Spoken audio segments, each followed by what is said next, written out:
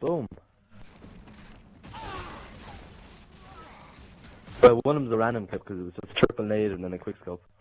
The other one's a rape. What's that?